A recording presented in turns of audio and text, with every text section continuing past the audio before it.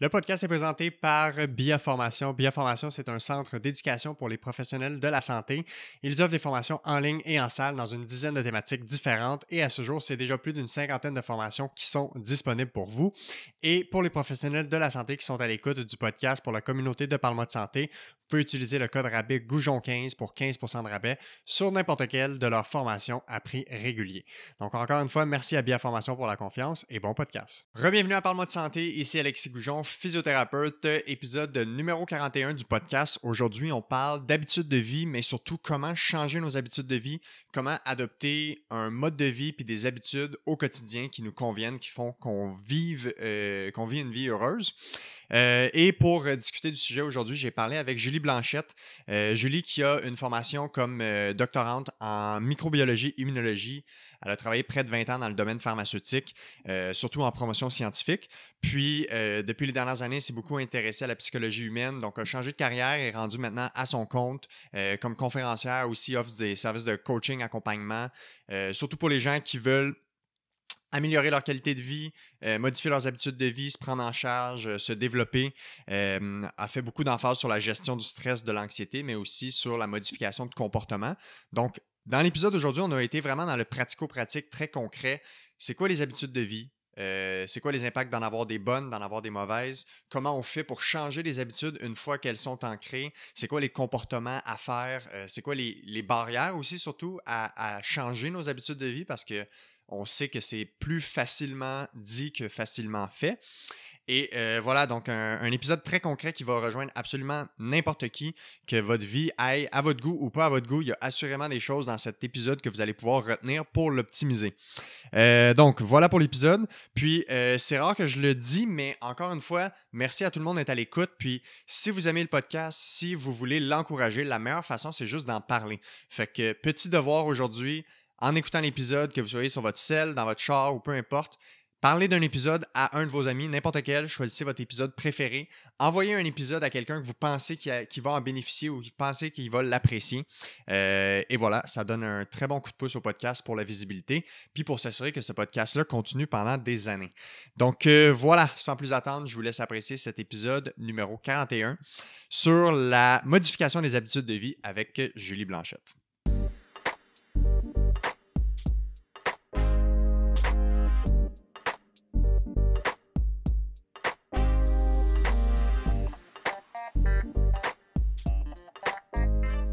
OK, on est parti. Julie Blanchette, comment ça va? Ça va très bien, toi? Ça va très bien, merci. Merci d'avoir accepté l'invitation. On s'était parlé dernièrement pour que tu puisses euh, venir sur le podcast, jaser un peu de tout plein d'affaires qui te passionnent. Euh, entre autres, on va beaucoup parler des habitudes de vie aujourd'hui, de comment changer le comportement, comment adopter des habitudes de vie, mais aussi, tu sais, même au préalable à ça, c'est quoi les impacts d'avoir des bonnes habitudes de vie sur notre santé, autant les impacts positifs que des fois des impacts négatifs quand nos habitudes de vie ne sont pas nécessairement euh, optimales. Euh, d'abord, pour que situer les gens un peu, savoir pourquoi on discute ensemble ce matin, donner un petit aperçu de ton background, qu'est-ce qui t'a amené à t'intéresser beaucoup à ce phénomène-là ou à, ce, sujet-là? Euh, tu as un background qui est très prononcé ou très précis dans un domaine particulier. Tu as travaillé dans le domaine pharmaceutique pendant de nombreuses années, puis là, dernièrement, tu as eu un changement de carrière, euh, un peu un deuxième souffle dans ce que tu vas faire. Fait que veux-tu juste faire le, petit résumé de qu'est-ce qui t'a amené dans ton parcours avec tes études jusqu'à maintenant, puis maintenant, dans quel monde tu baignes pour qu'on puisse faire la transition vers les habitudes de vie ensuite? Ben oui, absolument. Donc, euh, je suis une fille qui s'est toujours intéressée au corps humain, à la, biologie, je voulais m'en aller dans le domaine de la santé, donc euh, j'ai fait mon bac en biologie médicale. J'ai bien aimé ça. Puis là, par la suite, j'ai continué les études graduées. Donc, j'ai commencé ma maîtrise en recherche dans, le domaine de la microbiologie immunologie euh, dans un laboratoire à Québec. Puis là, je ne savais pas trop ce que je voulais faire. Donc, euh, j'ai continué, poursuivi au doctorat. J'ai dit, bon, mais je vais m'ouvrir des portes. Donc, je vais faire mon doctorat en microbiologie immunologie. la, fibre de la recherche m'intéressait beaucoup. Euh, je savais pas trop à la fin, vers la fin de mon doctorat, ce que j'allais faire, si j'allais poursuivre au postdoc ou si j'allais faire prendre une autre avenue. J'étais un petit peu dans le néant, comme plein de gens qui euh, sont... Qui sont à ce niveau d'études-là. Qui font de la recherche à un moment donné, ils ont tout comme qu'est-ce que je vais faire de ma vie? Euh, donc, j'ai vécu ça moi aussi. J'aimais beaucoup, je te dirais, le transfert de connaissances. Donc, j'aimais faire des, donner des conférences, faire de l'enseignement, puis tout ça. Donc, j'aurais aimé être prof, en fait, à l'université, mais quand tu étudies dans ce domaine-là, devenir prof, ça veut dire avoir ton labo de recherche, euh, avoir des étudiants, puis donner quelques tâches euh, d'enseignement. Donc, euh, à ce moment-là, il y, a eu il y avait un recruteur qui a envoyé une, offre d'emploi pour une compagnie pharmaceutique pour un, poste dans le département médical. Et il y avait un gros volet qui était justement de l'enseignement, de la formation, former des, représentants, donner des conférences à des professionnels de santé. Donc, ça m'a beaucoup interpellée. Mm-hmm. Donc là, j'ai dit, puis c'était exactement à la fin, on parle comme dans les deux derniers mois, là, je terminais. Ouais, le timing était parfait. Puis je terminais mon doctorat, puis j'ai dit, ah, voilà, tu sais, ça y est, l'occasion rêvée. Donc, j'ai appliqué sur le poste, puis j'ai eu, euh, j'ai eu l'emploi. Donc, c'est comme ça que j'ai commencé dans le pharma. Puis je connaissais pas beaucoup le pharmaceutique, la, structure, puis tout ça. Euh, puis bon, ben, j'ai commencé une assez longue carrière. Comme tu dis, en fait, j'ai travaillé presque 20 ans, 19 ans dans le pharmaceutique. Euh, j'ai un peu roulé ma bosse, j'ai changé de compagnie souvent. Puis, mais je me suis toujours questionnée, honnêtement. Je me, suis, je me questionnais sur ce que je faisais. on dirait qu'il n'y avait comme pas de sens tant que ça dans, dans, ce que je faisais en termes de, de, de l'idée derrière le, travail, je te dirais. Pourquoi? Parce que je suis une fille qui fait la promotion des saines habitudes de vie, je suis une personne active, euh, j'ai une famille, j'ai des enfants, mon conjoint, on est actif, on, on, on, on a une saine alimentation ça a toujours été le cas, même dans le temps. Donc, je me questionnais, puis je ne comprenais pas trop pourquoi. Euh, bon, ça a pris du temps. Puis finalement, bon, là, il y a eu, euh, il y a eu la pandémie, mm-hmm. puis, euh, tu sais, on se re-questionne, on, se pose plein, plein de questions sur qu'est-ce qui se passe, est-ce que je devrais continuer? Oui, c'est le classique, je suis le classique de la pandémie. Puis, puis j'ai commencé à m'intéresser plus à la psychologie aussi, la psychologie appliquée, comprendre le comportement humain. Et là, j'ai comme vraiment compris que je ramais un peu à contresens finalement, puis que même si je changeais de poste, puis j'augmentais de, de, statut ou ben je montais dans la compagnie, ça n'allait pas répondre à vraiment mes besoins. D'un point de vue euh, motivation intrinsèque, je te mhm, dirais. Puis on mhm. pourra en reparler de ça tantôt. Ça va être assurément euh, au cœur de ce qu'on va discuter. Exactement. Donc là, je ne savais pas ce que je voulais faire, donc j'ai juste comme tiré la plug, honnêtement. J'ai comme donné ma démission, puis je suis partie comme sans rien. Donc mhm. les gens se questionnaient beaucoup, hein, qu'est-ce qu'elle va faire? Ouais. puis là, je me suis dit, ben, écoute, ça fait tellement longtemps que je suis dans le domaine, je vais, trop, je vais voir. J'étais ouverte à tout, honnêtement. Fait que là, ben, je, me suis dit, j'ai toujours aimé la santé, tout ça. Puis à travers les années dans le pharma, j'ai souvent dit que j'aimerais mieux travailler en amont. Je voudrais aider les gens à éviter finalement de se rendre à un statut où c'était comme notre business finalement. Oui, oui, oui. Ouais, donc, faire plus de la prévention primaire. Donc, aider les gens à prendre soin d'eux. Mais là, il n'existe pas de compagnie qui fait ça, de la prévention primaire. Donc là, j'ai, là, là, je me suis dit, ben, tu sais quoi, je vais partir mon business, puis je vais faire des projets qui vont toucher à ça, qui mm-hmm. vont viser la, santé des gens, puis euh, la promotion de la santé, puis les saines habitudes de vie. Puis là, j'ai comme décidé de mettre un enfant sur la gestion du stress puis de l'anxiété parce que je, comprenais que c'était comme la pierre angulaire, c'est comme le nerf de la guerre. Hein. Mm-hmm. Euh, parce que c'est un frein aussi, puis on va en parler tantôt, mais c'est un frein à l'adoption des autres saines habitudes de vie. Puis c'est aussi euh, parce qu'il y a comme une personne sur deux qui sont comme anxieux selon les, derniers, euh, dernières statistiques euh, au Québec puis un peu partout. Donc là, je me suis dit, si tu t'adresses pas le stress chronique puis l'anxiété, ça va être difficile de mobiliser les gens. Fait que j'ai mis comme une emphase là-dessus. Donc là, j'ai décidé de faire des, d'offrir des services d'accompagnement, du coaching, services de conférence. Puis là, j'ai plusieurs projets en développement aussi actuellement euh, en lien avec aider les gens à prendre soin d'eux. Puis dans le fond, quand on en avait parlé un peu pour préparer la discussion d'aujourd'hui, tu m'avais dit que dans, cette espèce de questionnement-là à, t'intéresser au comportement humain, à la psychologie, tu avais beaucoup creusé dans la littérature pour savoir qu'est-ce qui existe en termes de science qu'on a déjà publié sur c'est quoi les, freins à l'adoption de comportement, l'adoption de modifications d'habitudes de vie. Donc, c'est un peu à ce, à ce moment-là que tu as réalisé que le stress chronique, l'anxiété, la, difficulté à gérer, appelons ça les défis, les enjeux de la vie, c'était un thème qui revenait souvent dans le frein à être capable de, se prendre en charge, ou pas nécessairement de se prendre en charge, mais de poser des actions concrètes. Exactement. Donc, euh, puis même dans ma propre expérience personnelle, donc je le voyais dans la littérature, je voyais que c'était carrément comme assez central. Parce que j'ai pas dit, ah, je vais travailler sur la gestion du stress. J'ai comme bifurqué naturellement vers ça parce que j'ai dit, si on veut aider les gens, nécessairement, on veut faire une différence chez le plus de monde possible c'est quoi comme qui est la plus grosse barrière, finalement? Donc, ça m'a naturellement, je te dirais, mené vers ça. Puis là, ben, pour comprendre comment faire progresser quelqu'un au niveau de la gestion du stress puis de l'anxiété, il ben, faut que tu comprennes la psychologie humaine. C'est pas une question de, de, juste de, lire des articles de l'impact négatif du stress. Il faut que tu comprennes comment fonctionne un être humain. C'est quoi les mécanismes? C'est quoi les mécanismes? C'est quoi les comportements? Qu'est-ce qui fait que cette personne-là va être anxieuse par rapport à quelque chose, puis la, une autre personne avec, sur la, même problématique ne développera pas d'anxiété, par exemple.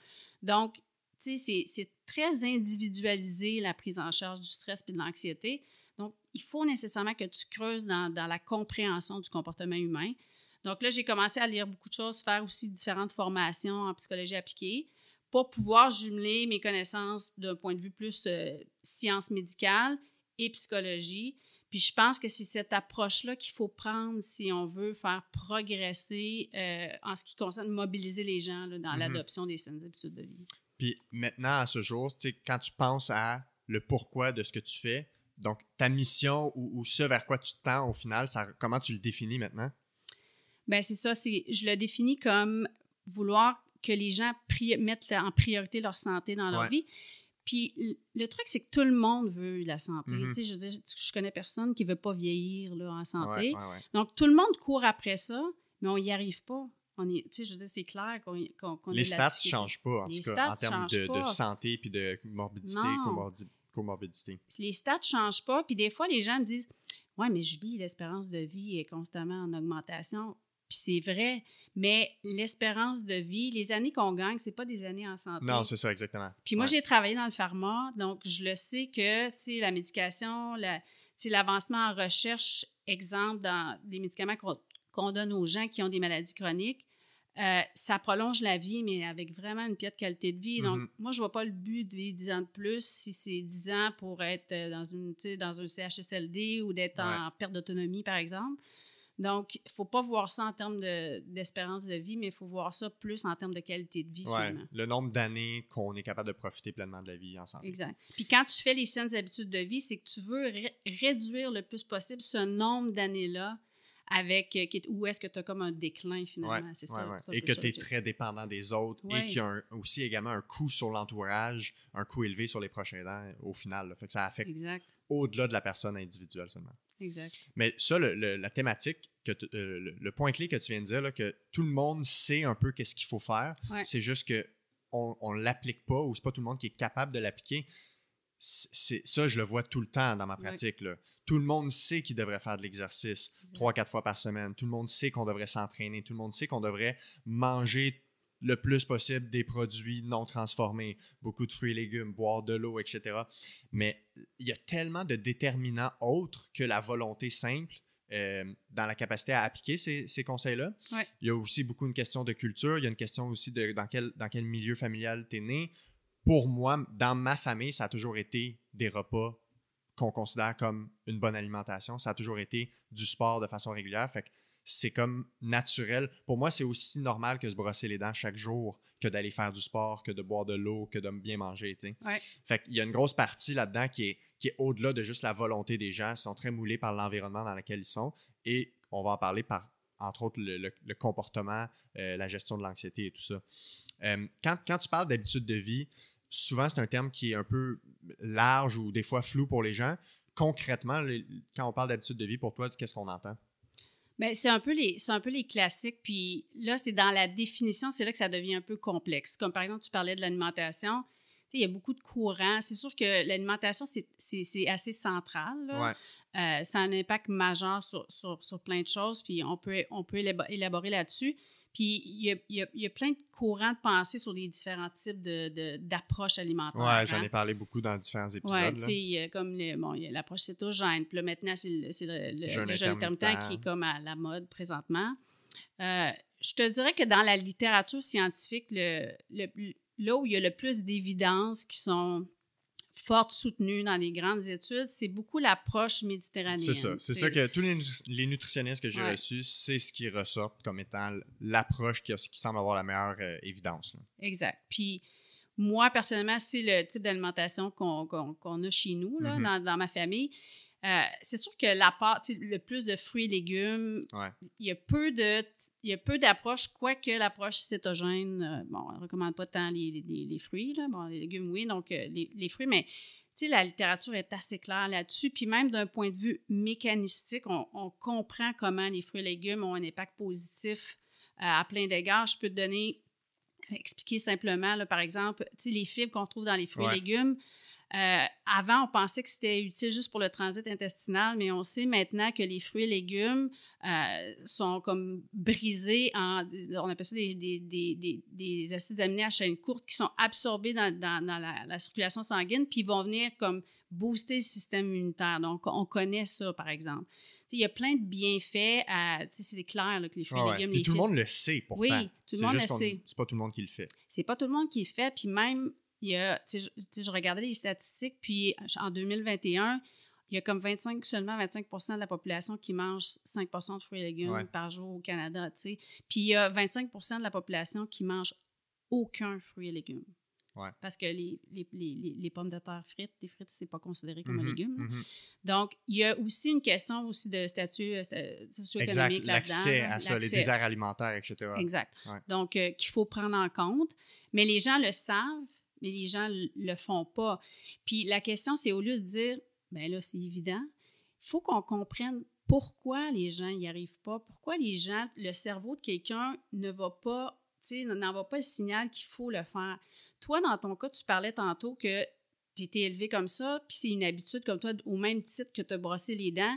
C'est un peu ça qu'on veut essayer de faire chez une personne. Donc, développer une habitude au même titre que de se brosser les dents. Ça, ça prend de l'effort. Toi, tu étais chanceux dans le sens où est-ce que tu l'as intégré, cette habitude-là, à, un jeune âge. Puis toi, probablement, tu dis, je comprends pas, c'est tellement. Comment ça se fait? Tu sais, c'est inné, puis tu dis, ben comment ça se fait que les jeunes, ils, ils font pas une heure d'exercice par jour? Un enfant de 10 ans, ça n'a pas de sens. Mais si tu n'as pas été élevé là-dedans, puis que tes parents sont sédentaires, puis que tu n'as pas comme une bonne alimentation, c'est pas quelque chose qui est inné chez toi. Tu n'as pas cette habitude-là. Donc, c'est pas c'est naturellement pas facile de l'intégrer. Puis, par le statut social, socio-économique, ou dépendamment dans quel quartier tu es né, dans quelle famille, l'accès au sport, l'accès à la nourriture de qualité n'a pas nécessairement été facile. Exact. Puis ça, c'est tous des facteurs qu'il faut prendre en compte. Donc, tu sais, tantôt, on parlait, on, tout le monde sait qu'il faut faire l'exercice, il faut bien manger, tout ça, puis on n'y arrive pas, tu sais, on parlait de ça. Je pense qu'au lieu de se dire, ben OK, regarde, vous voyez les impacts, ça prolonge la vie, ça fait telle affaire, c'est positif, ça, a un impact sur l'inflammation. Donc, juste faites-le. Ça ne fonctionne pas, cette approche-là. Donc, on se dit, OK, pourquoi ça ne fonctionne pas? Comment on l'explique? Puis, comment est-ce qu'on peut adresser cette problématique-là pour justement mettre une personne comme en, en go ou en être capable de se mobiliser? Donc, c'est comme s'il faut qu'on fasse un genre de débroussaillage, OK?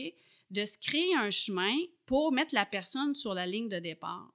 Puis c'est comme ce débroussaillage-là, à la base, je pense qu'on ne fait pas dans nos stratégies actuellement. C'est qu'on met la personne sur la ligne de départ et on dit vas-y, cours un marathon. Mais elle n'a pas fait la préparation, elle n'a pas. Elle ne sait pas comment s'habiller, quels souliers mettre. Elle ne sait pas euh, quoi faire. Puis là, je lui dis vas-y, cours 42 km.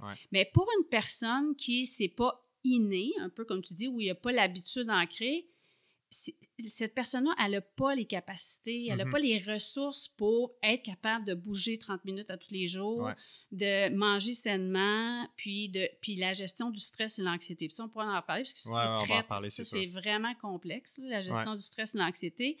Puis c'est pour ça que je disais que c'est le nerf de la guerre parce que c'est comme un gros, gros frein à tout le reste. Là. Puis un des éléments que tu amènes, c'est on, sait que ça fonctionne pas de donner des généralités aux gens puis de dire voici des principes de base à suivre.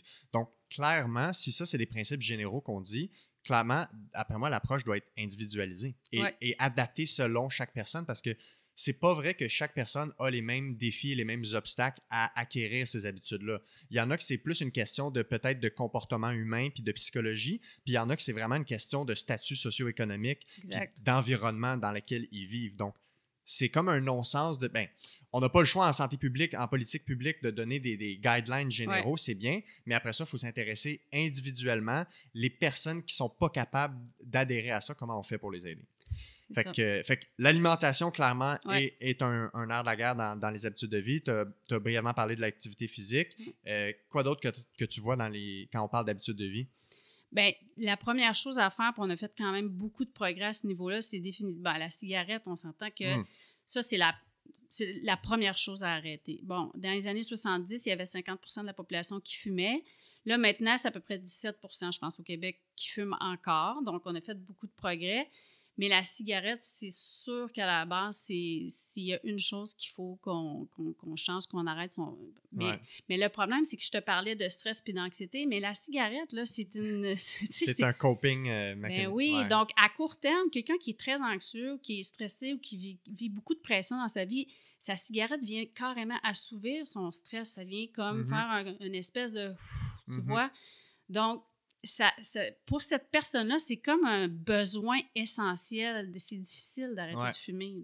Mais puis tu vois ça, là, longtemps, moi, j'avais un peu la mentalité, tu sais, un peu comme on nous apprend à l'école, quelqu'un fume, ben dites-lui, puis tu sais, enseignez-lui que c'est pas mm-hmm. bien. Puis tu sais, moi, je, me disais, coudon, ça se peut pas qu'en 2022, tu saches pas que fumer, c'est pas bon. Puis à un moment donné, euh, il y a quelque part, je je sais pas si c'était dans une entrevue quelque part, le nutritionniste urbain, Bernard Lavallée, je ne sais pas si tu connais, qui parlait des gens qui, boivent, par exemple, un 2 litres de Pepsi le soir. Euh, puis, tu sais, l'élément, ce qu'il a dit m'a vraiment allumé cette cloche-là par rapport à la cigarette. Il a dit Je vous garantis que c'est pas le Pepsi le problème. Ben c'est pas ça le problème. Puis, il y a personne qui est content puis qui veut boire 2 litres de Pepsi le soir. Donc, il faut s'intéresser aux mécanismes qui sont derrière ça. Puis c'est là que j'ai allumé, puis j'ai dit, ah, ben mes patients qui sont en douleur chronique, qui ont des comorbidités, qui ont plein de problèmes métaboliques, puis qui sont fumeurs, fumeuses, clairement, c'est pas la cigarette le problème, puis qu'il y a personne qui est heureux de fumer. Donc, je me suis, c'est là que ça m'a ouvert l'esprit de, OK, il y a d'autres choses qui drivent cette habitude de fumer. Là. Puis c'est là, pour revenir à ce que je disais, puis pour faire, pour soutenir ce que tu dis, c'est là le travail de débroussaillage. Oui, trouver le pourquoi. Oui, pour trouver le pourquoi.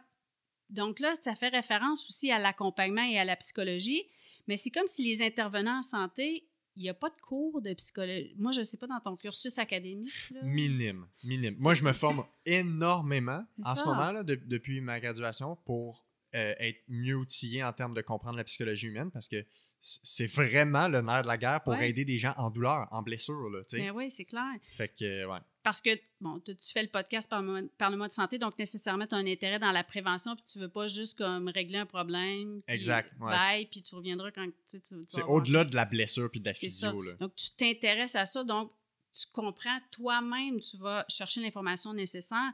Mais dans les cursus académiques des gens qui développent dans différentes sphères de la santé, c'est très. Il n'y en a presque pas d'aspect psychologique, mais l'un, l'un ne va pas sans l'autre. Puis c'est ça que j'ai compris, moi, quand j'ai décidé de. Parce qu'au début, quand j'ai décidé de travailler sur des. Sur des tu sais, en amont, sur les saines habitudes de vie, j'ai dit, bon, je vais parler de l'impact, des bénéfices, puis, euh, mm-hmm. tu sais, je vais, je vais partager, mettons, les connaissances, les études, tout ça. Puis après ça, je me suis dit, bien, ça donne rien de juste faire ça. On fait déjà ça depuis des années. On fait déjà ça depuis des années, puis il y a des, tu sais, je pense à il y en a plein d'experts qui, qui, sont tout le temps dans les médias. Tu sais, je pense à, à Dr. Martin Junot, qui est beaucoup en prévention, puis qui font plein d'entrevues, mais ça ne bouge pas les statistiques. Fait que j'ai dit, OK, il faut qu'on sorte de la boîte, puis il faut qu'on approche la, la, problématique différemment.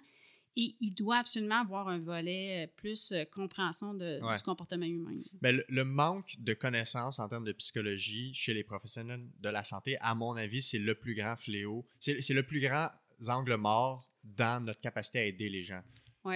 à la blague, des fois, je dis qu'on devrait tous être formés comme des psychologues, puis ensuite faire une spécialisation en médecine, en physio, en nutrition. J'échange avec plein de nutritionnistes. La formation en troubles alimentaires à l'université, dans le programme de nutrition, je pense que c'est nouveau qu'il y en a plus, puis avant, c'était quasi inexistant. C'est fou, là. Les troubles alimentaires, c'est central dans l'alimentation. Ben tu demandes pourquoi les gens ont des difficultés dans leur relation avec la nourriture. Il faut clairement comprendre les troubles alimentaires. Ben et donc, il faut comprendre la psychologie. Euh, en douleur chronique, pour les physios, les médecins, les infirmières, tous ceux qui interviennent, clairement, la psychologie, c'est un élément central. Fait il y en a assurément pas assez. Puis je pense que le moment où on en a, personnellement, si je parle du programme de physio, le moment où j'ai eu des cours de psychologie, je n'étais pas au point de comprendre pourquoi j'allais en avoir besoin. Et j'étais pas dans un espace disposé pour vraiment absorber. Je referais mes cours maintenant. C'est sûr qu'il y aurait des éléments qui m'aideraient beaucoup plus que ça m'a aidé quand j'étais à l'école. Parce que quand j'étais à l'école, moi, je pensais qu'il fallait savoir précisément quel muscle fait quelle action et tout ça. Ouais. Puis maintenant, on s'en fout un peu de ça. N'avais pas comme, tu n'avais pas de déclic sur la rationnelle de pourquoi tu suis ce cours-là. Tu dis, bon, ben, OK, il y a un cours de psychologie Ouais. dans mon cursus, il faut que je Ouais. le fasse. Mais, mais c'est important de savoir à quoi ça va te servir. Fait que finalement, le contexte, puis là, probablement, peut-être comme tu dis, que ton approche, ton, ton, écoute, ta réceptivité de l'information partagée dans ce cours-là serait très différente aujourd'hui de ce qu'elle était dans le temps. Ouais, clairement. Ouais. Ben, tu sais, ouais, exactement. Puis, un peu avec même d'autres cours, tu sais, j'ai eu un cours de statistique à la maîtrise, comment analyser, lire des articles scientifiques. Hey, je peux-tu te dire que je l'ai fait juste pour m'en débarrasser? Ouais. Puis là, cette année, je donnais le cours, je donnais les séminaires, donc je me suis replongé dans les notes, je suis ressorti du cours vraiment plus outillé pour lire un article scientifique et analyser, tu sais. Mais c'est ça, c'est comme des fois le timing n'est pas bien fait, mais à un moment donné, il faut que la formation se donne. C'est clair. Euh, donc, on, on a fait un peu le tour des habitudes de vie euh, principales. Je ne sais pas s'il y en a d'autres. euh, on a divagué sur la cigarette. Je ne sais pas si. on- il y a l'alcool aussi, clairement, qui est en jeu Ça, euh, dans la même ouais. catégorie. Là. Ça, c'est aussi parce que, bon, il y a des. Comme par exemple, les grandes études en, cardi- en cardiologie, par exemple. Ouais. La consommation modérée, c'est en fait, c'est une, comme une bonne habitude de vie dans le milieu Ouais, il y a un cardiovasculaire. dosage protecteur. Ouais, tu sais, une- la, la fenêtre est très étroite, là. Mais bon, en gros, là, si on fait ça simple, là, si tu as des études en cardiologie, puis là, c'est que 50 ans de recherche, OK? Donc, un verre de, de vin, mais en fait, c'est tout d'alcool confondu. Donc, une consommation d'alcool par jour pour la femme, deux ma- maximum pour l'homme, c'est cardioprotecteur. Mais si tu parles à un neuropsychologue, tu sais, c'est pas bon pour le cerveau. Mhm. Puis c'est comme zéro qui est bon. Mhm. Tu sais, tu vois qu'une faible dose a un impact éventuellement sur les fonctions cognitives avec le temps. Ouais. Euh, Si tu parles aux experts du sommeil, ils vont t'en parler aussi, beaucoup, surtout dans le timing de la consommation d'alcool le soir. Oui, puis c'est souvent le soir qu'on Ouais, va exact. consommer. Donc, je pense qu'il faut avoir comme un juste milieu, mais moi, je l'entends beaucoup euh, parce que ben, je fais référence au- encore à Martin sais, lui, il, fait, il dit que c'est bon de prendre un verre, mettons, un verre 4-5 jours par semaine. Mhm. Bon, d'alcool. Donc, la consommation modérée, donc ça dépend, tu sais. Ouais. Puis, il y a beaucoup de débats là-dessus. Puis, et puis, les gens aussi en cancer sont pas pour non, Non, plus. exact. Oui, effectivement, la consommation d'alcool. Donc, c'est une habitude de vie. Puis, ça, c'est une grosse problématique aussi parce que la plupart des gens consomment trop d'alcool. De ça. toute façon, on le Ce voit qui en est clair, c'est que la consommation excessive, c'est pas Ouais. Tu sais, je pense que peut-être prendre un verre de temps en temps, OK, mais puis en plus, en pandémie, là, la, la- la consommation d'alcool, elle a vraiment comme augmenté. Ouais. Donc, ça, c'est sûr que c'est clairement une habitude de vie qui a un impact. euh, si tu prends trop d'alcool, ça a définitivement un impact négatif, Mhm. autant au niveau euh, du corps en général, beaucoup aussi au niveau, euh, au niveau du cerveau. Donc, ça, c'est Ouais. quelque chose qu'il faut définitivement faire attention. Ouais. Puis encore une fois, parce que tout se recoupe dans la douleur, Ouais. si tu prends la population fumeuse, ça augmente la- la- le- les chances d'avoir une douleur n'importe où dans le corps. Donc, si tu prends toutes les bobos, toutes les blessures musculo-squelettiques, Ouais. là, les gens qui fument en ont beaucoup plus que les, les non-fumeurs. Fait on, on le voit qu'il y a de l'association à ce niveau-là. Puis n'importe quel problème de dépendance, que ce soit Ouais. euh, ou, ou n'importe quel trouble psychologique en lien avec ça, fait que ce soit euh, drogue, alcool, trouble alimentaire, c'est tout prédicteur de mal évoluer en termes de, de récupération de blessures, de douleurs, prédicteur de douleurs chroniques. Fait que ça se recoupe tout le temps. Donc, ouais. on revient finalement souvent aux habitudes de vie en général. Puis ce que tu dis, c'est que ça, c'est tout ce qu'on ce qu'on a mentionné jusqu'à maintenant. Tu sais, tu as parlé de euh, mauvaises habitudes de vie, puis là, ça a un impact au niveau psychologique, puis là, les gens qui ont de la douleur Ouais. sentent plus de la douleur. Donc, c'est pour ça que c'est trop simpliste de dire, euh, ben c'est évident, là, il faut que tu arrêtes de fumer. Ouais. Fait que, donc, il faut qu'on creuse plus, puis c'est- c'est là qui, qui, qui, ça rend ça, c'est pas facile. Ouais. En fait, c'est un, réel défi faire de la prévention Ouais. en santé. Donc, les, les obstacles euh, à l'adoption de comportement ou à la modification de comportement, euh, dans ce que, ben, il y a un, ta pratique personnelle, dans les gens que tu accompagnes, que tu aides, qu'est-ce que tu rencontres, puis c'est pas mal la même, j'imagine, la même chose que la littérature rapporte dans les principaux obstacles à Mhm. modifier des comportements. Si on rentre là-dedans, à quoi ça ressemble? Bien, on- je vais essayer de garder général pour que la plupart des gens comme se reconnaissent. Mais Mhm. comme tu dis, c'est très individualisé, l'approche, dans le sens où, tu sais, ne serait-ce que les traits de personnalité d'une de, de quelqu'un va faire que ton approche va varier dépendamment qu'une personne est plus forte dans un trait de personnalité qu'un autre. Mais il y a des, il y a des, il y a des, euh, des barrières, je te dirais, qu'on entend tout le temps puis qui sont clairement là, la base du fait que les gens n'y arrivent pas. Euh, donc, le niveau d'énergie, combien de temps qu'on puis, tu sais, on parle d'énergie. Moi, j'aime pas trop parler d'énergie parce que je trouve que ça fait comme un peu ésotérique. Ésotérique, ouais, ouais. Ça, honnêtement, mais il y a comme pas d'autres termes. Donc, si tu y penses, euh, mettons que tu fais. Euh, je vais y aller dans le positif juste pour expliquer pourquoi on ne peut pas utiliser d'autre chose que de l'énergie. Euh, supposons que tu travailles sur un gros projet qui te fait triper, tout ça, puis là, quand tu arrives à la conclusion, tu as comme une espèce de boost d'énergie, carrément, puis cette mm-hmm. énergie-là, tu peux le, le, redistribuer, l'utiliser dans d'autres choses. Bien, ça, cette énergie-là, elle est comme essentielle de la produire constamment, puis tu veux la garder dans le positif. Ouais. Les gens qui ne sont pas capables de mettre leur soulier de course, ne serait-ce que d'aller marcher même 15-20 minutes, combien de temps que tu attends? À la fin de la journée, j'ai plus, j'ai plus de jus, j'ai plus d'énergie, j'ai la langue à terre, puis là, il faut que je m'occupe des enfants, du souper. Tu sais, c'est classique. Oui, ça revient. Mais c'est un fait concret que cette énergie-là, elle est comme ton, ton réservoir il est à sec, c'est très difficile de te mobiliser. Bon, qu'est-ce qui est responsable du fait que tu n'es pas capable de générer suffisamment d'énergie ou que tu es dans le déficit? Là, ça peut être multifactoriel. C'est sûr que le stress ou l'anxiété ou chronique, chronique là, pas le stress aigu, mais le stress parce que le truc du projet c'était du stress aigu. Exact. Je pense que tu en as parlé dans un épisode. Exact. Ouais, donc il euh, bon, faut démythifier, mais le stress vraiment chronique, les gens qui sont toujours stressés, qui sont toujours anxieux. Ouais. Euh, donc, sont tout le temps déficitaires parce que le stress et l'anxiété, ça vient carrément tout gruger ton énergie. Hein. Donc, l'énergie, c'est vraiment quelque chose qui est central. Donc, si tu veux essayer d'adresser ça. Il faut que tu trouves des stratégies pour en, générer de, l'énergie. Puis, les, par exemple, les, mes clients, ben, une des premières choses que, je vais faire d'emblée, c'est toujours, toujours de venir activer la motivation intrinsèque. Là, je rentre dans les solutions, mais parce que c'est relié. Euh, c'est comme la première fois dans 95 des, des, des, cas, des situations, c'est ça que tu veux faire parce que tu veux venir produire de l'énergie en supplément pour que la personne, tu la mettes sur la ligne de départ. Tu sais, je reviens tout le temps à ça. Mm-hmm. Donc, il faut que tu la prépares pour qu'elle se dise, OK, là, je me sens comme, je sens que j'ai plus d'énergie. Donc là, je, me sens plus apte à mettre mes souliers de course puis aller marcher ou à prendre du temps pour cuisiner, par exemple. Donc, il y a comme une gestion de l'énergie qui, qui, est vraiment essentielle dans, dans la stratégie là, pour que la personne adopte les, les saines habitudes de vie. Oui, puis c'est une énergie qui, vu qu'elle vient, vu qu'elle est intrinsèque, justement, qu'elle vient de l'intérieur, c'est quelque chose qui ne qui dépend pas de, de, de, renforcement externe, qui ne dépend pas de l'environnement. Donc, t'es pas tout. Parce que ça, ça a un coût également pour la santé puis pour, pour les gens de tout le temps devoir se raccrocher à des sources externes d'énergie, mm-hmm. que ce soit validation sociale, que ce soit euh, les réseaux sociaux, peu importe, que ce soit la, nourriture, l'alcool, la cigarette, n'importe quoi puis j'imagine que à la longue, ça a un coût élevé. Et euh, on, je ne sais pas si on perd la capacité à générer de l'énergie de l'intérieur via des motivations qui sont intrinsèques. Comment tu fais ça avec tes clients? Ouais. Ben, Les stratégies. Là. Ben, d'emblée, il faut que tu. Faut, comme tu l'expliques à la personne, mais tu sais, on est dans une société où la plupart des gens, là, n'ont presque. Il y en a beaucoup de gens qui ont juste de l'activation, de la motivation externe, comme tu dis, extrinsèque. Pourquoi? Parce que le cerveau naturellement, puis on a été développé comme ça avec, euh, avec l'évolution, tout ça de, de, l'être humain. Le cerveau va toujours vouloir aller vers ce qui est facile, qu'est-ce qui est le plus rapidement accessible, puis de, vers ce qui est attrayant.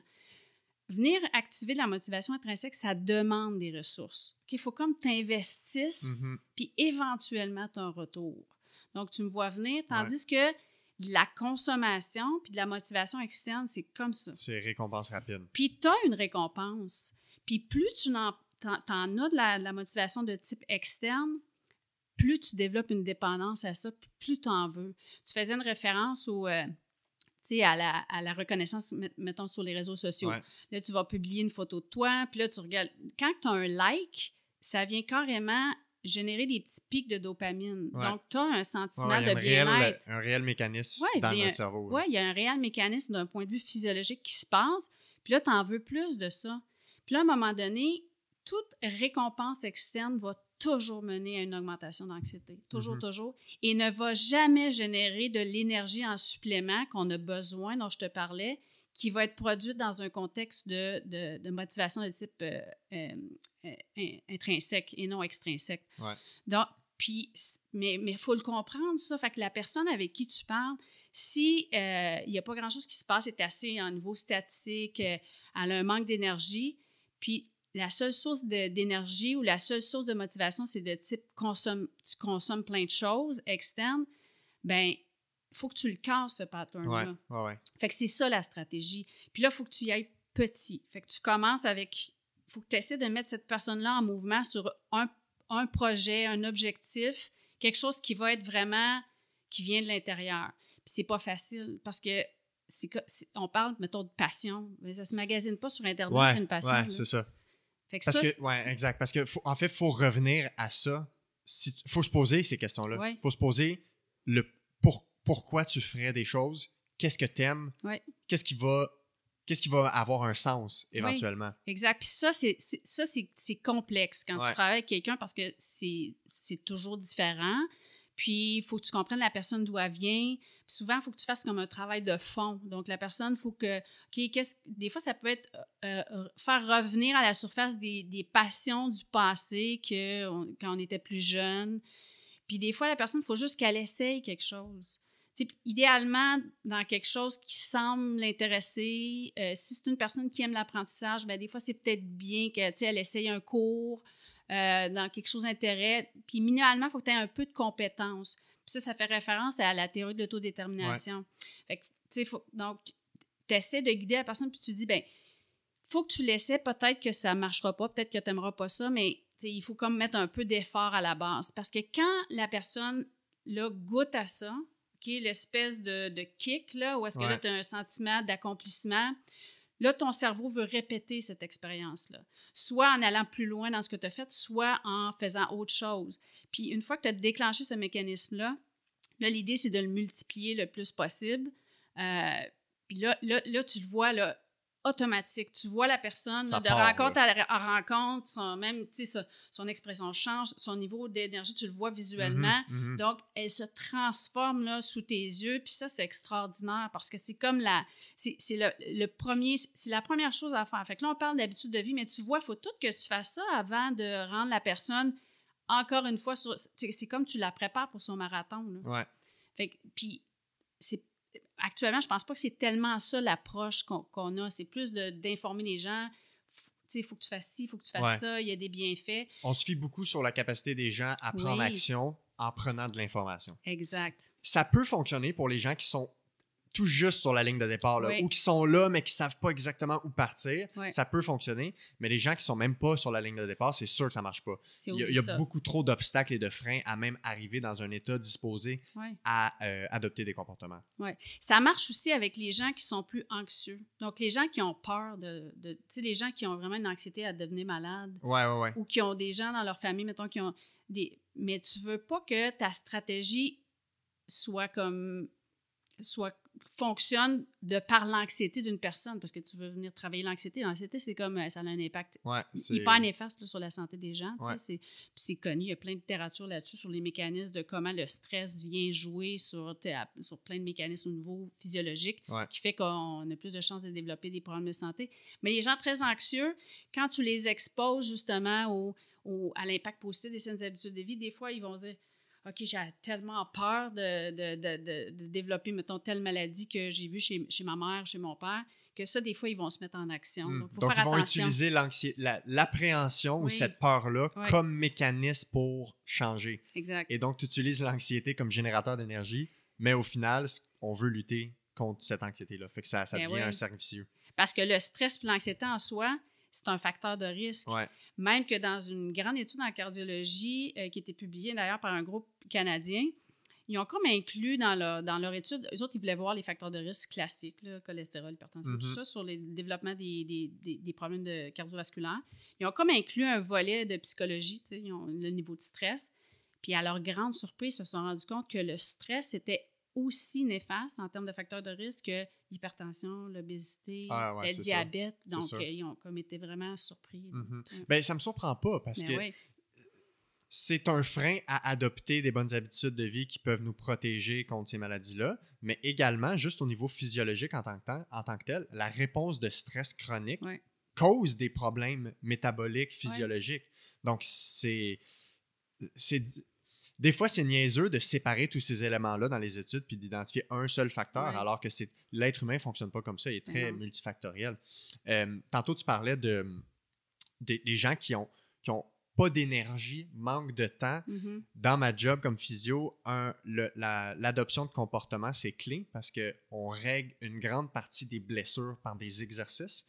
Qui dit exercice, puis exercice, ça veut pas dire va au gym ou va courir, mm-hmm. des exercices thérapeutiques. Euh, et donc, souvent, c'est à faire à chaque jour ou à chaque deux jours. Comment tu fais? sais, ça, c'est un défi que j'ai. Amener les gens à intégrer ça dans leur quotidien, alors que souvent, les plus grands défis, c'est des gens qui sont déjà en manque de temps, manque d'énergie. Puis ça m'est arrivé d'aller jusqu'à me poser, à poser ces questions-là aux patients. Euh, c'est quoi tes, tes, passions? Qu'est-ce que tu aimes faire? Parce que des fois, en tout cas dans la douleur chronique, puis des gens qui vont avoir eu une qualité de vie vraiment affectée par la douleur chronique, ils ont tout arrêté. Ils n'ont plus de projet. Des fois, ils ne travaillent plus ou ils travaillent, mais pas beaucoup d'énergie de, puis de, de, positif en lien avec le travail. Ils font plus de sport, eh plus d'activité sociale. Puis quand tu arrives à poser des. des à, établir un plan de traitement avec les gens, nous, on, on, établit des objectifs de traitement au-delà de plus avoir mal. Tu sais, réellement, pourquoi ah tu veux plus avoir mal? Puis il y a des gens avec qui, c'est une petite portion, mais quand même une portion importante, ne sont pas capables de répondre à cette question-là. Mm-hmm. Ils ne savent pas pourquoi ils ne veulent plus avoir mal. Parce qu'ils ont oublié depuis tant d'années qu'avant, ils faisaient du vélo. Euh, ils, je sais pas, moi, chaque vendredi, ils allaient au bowling, c'était leur euh, événement social. Euh, ils recevaient à la maison, ils sont plus capables de recevoir. Puis ça m'arrive de donner un devoir qu'ils doivent écrire, repartir avec une feuille, puis juste de se poser la question. Ça va être le pourquoi de tu vas faire ça, puis qu'est-ce qui t'anime, c'est quoi les passions. Puis des fois, là, tu fais juste ramener des éléments significativement importants pour la personne dans sa vie, que ce soit artistique, sportif, loisir, peu importe. Puis tout d'un coup, il y a bien des choses qui débloquent. Puis la douleur diminue. Parce que c'est pas vrai que la douleur, c'est seulement un tissu qui est blessé, qui est étiré, déchiré. Mm-hmm. C'est vraiment complexe. Et ça, c'est le genre de défi que, que, en douleur chronique, autant qu'en santé publique, on doit se poser. Parce que la, la, la douleur chronique, en termes de santé musculo-squelettique, ça coûte plus cher au système de santé que les cancers et tout ça. C'est comme je pense 30 pour, en tout cas, je ne veux pas dire des chiffres en, l'air, mais c'est une énorme portion de l'enveloppe budgétaire parce qu'on considère les invalidités au travail, on considère les pertes, les, les, heures perdues au travail, euh, les soins euh, récurrents en termes de radiographie, médicaments, euh, voir des spécialistes, des médecins et tout ça. Fait que cet élément-là, d'avoir pas d'énergie, pas de temps, clairement, je le retrouve dans ma pratique. Oui c'est super intéressant ce que tu dis parce que, en fait, l'exemple que tu viens de me donner, tu fais, tu fais de la psychologie avec ces gens-là. Puis, tu les amènes parce qu'ils adaptent hein, leurs conditions. Donc, les gens, comme tu dis, à un moment donné, ils ne savent plus parce qu'ils s'adaptent à leurs conditions, puis ça devient un peu leur normalité. Donc, puis le fait de les remettre, en fait, ce que tu fais, c'est que tu les remets, tu essaies de les remettre en mouvement. Puis juste le fait de les remettre comme en mouvement a un impact carrément sur leur niveau de douleur. Donc, euh, puis là, tu vois, c'est purement d'une approche psychologique que tu fais. Mm-hmm. Donc, c'est pour ça que on parlait, on parlait tantôt que tu peux pas comme, comme séparer les deux, puis qu'il y a un manque. Les gens, ils soit qu'ils traitent, tu fais de la thérapie manuelle, par exemple, mais euh, puis tu as des psychologues qui traitent les problèmes psychologiques, mais tu sais, c'est comme interrelié. Ouais. La santé puis la psychologie, c'est directement interrelié, puis c'est pas comme ça que c'est appris actuellement ou c'est développé ou c'est pas cette approche-là qu'on a. J'interromps le podcast une seconde pour te parler de la formation en nutrition sportive de Biaformation, où ils abordent la nutrition dans le contexte des différents types d'entraînement, parlent également de performance sportive, de végétarisme et euh, de sujets spécifiques comme l'impact nutritionnel sur les commotions cérébrales, les blessures, l'anémie du coureur, syndrome de déficit énergétique relatif, et parlent également de supplémentation. Et pour la communauté du podcast, comme d'habitude, vous pouvez utiliser le code promo Goujon15 pour 15% de rabais sur leur formation à prix régulier. Et tous les détails, comme d'habitude, seront dans la description de l'épisode d'aujourd'hui. Donc, euh, de retour au podcast. Non, exact. Puis souvent, on, on, on parle, en, douleur chronique, on parle beaucoup d'approches multidisciplinaires pour aider les gens. C'est ce que les données probantes suggèrent qui est vraiment efficace. Mais un, un des angles morts de ça aussi, je trouve, c'est que de un, le lien thérapeutique, la relation thérapeutique entre une personne aidante et la personne aidée, c'est un des plus grands prédicteurs de succès. Donc, à mhm. quel point la, relation de confiance est bien établie. Donc, quand tu as plusieurs acteurs, déjà, il faut que tu aies plusieurs relations de confiance qui soient solides. Déjà, mhm. c'est un premier défi. De deux, il faut que le message soit unanime entre tous les acteurs, tous les professionnels. Il ne faut pas que tout le monde essaie de tirer la mhm. couverte de son bord. Ça, c'est un second défi. Puis, troisièmement, quand tu es physiothérapeute, tu as euh, les, outils psychologiques que tu as ou les notions de psychologie que tu, que tu as, tu les as en lien avec la douleur, qui est le problème de la personne. Exact. Qu'un psychologue n'a pas nécessairement, sauf s'il travaille en douleur chronique, c'est mm-hmm. formé là-dedans.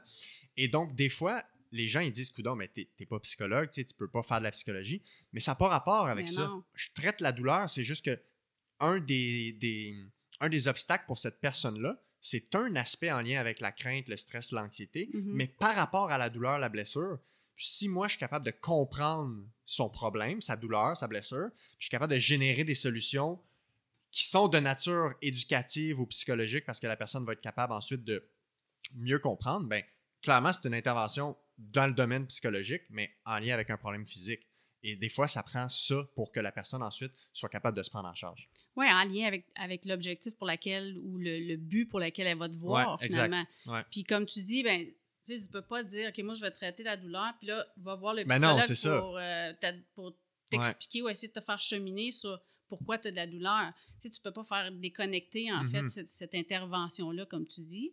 Puis le, lien aussi avec ton, avec ton patient ou avec ton client est absolument essentiel. essentiel parce qu'il y a un effet il y a comme un peu un effet aussi, un effet placebo. Je sais pas si on veut comme rentrer dans la discussion. Oui, oui, oui, on peut en parler, clairement. Parce que moi, je suis fascinée par, euh, par l'effet placebo parce que. Puis en plus, moi, j'ai travaillé dans le pharma longtemps. Euh, Beaucoup d'études placebo pour déterminer l'efficacité. C'est quand même assez puissant. Là. Puis il y, a, même un grand groupe de, de recherche à Harvard là, qui, puis dans plein d'universités, dans mm-hmm. plein, plein d'universités, mais entre autres à Harvard qui qui étudie l'effet placebo, puis il y a beaucoup de progression, d'avancement, je te dirais, au niveau des, connaissances par rapport à ça.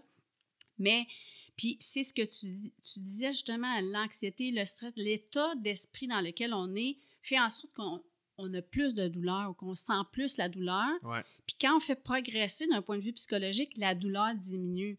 Bien, c'est comme un peu un effet placebo, ça, ce, phénomène-là, en quelque sorte. Oui, il y a l'effet de l'anxiété, mais mm-hmm. l'effet placebo est quand même assez puissant sur comment nous-mêmes, en tant qu'être on peut, on peut comme progresser dans une condition X. Oui, oui, oui. en fait, la personne se conditionne à aller mieux parce qu'elle a été rassurée sur un aspect et donc elle, s'attend à aller mieux. Parce que c'est ça, l'effet placebo, c'est l'attente d'un résultat suite à une intervention.